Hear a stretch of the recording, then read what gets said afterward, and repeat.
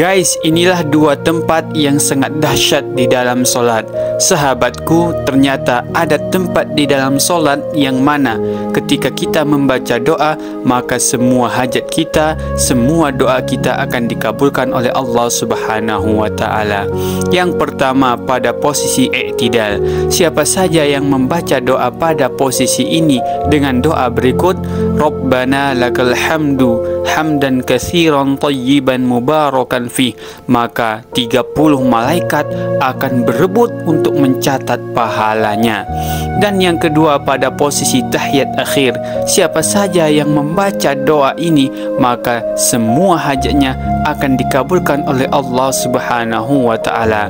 Sahabatku berikut doanya Bismillahirrahmanirrahim. Allahumma inni as'aluka bi anni ashhadu annaka antallah. La ilaha illa antal ahad. Allahu samad. Lam yalid wa lam yulad Wa lam yakul lahu ahad. Sahabatku Jangan lupa baca doa ini pada dua tempat di dalam solat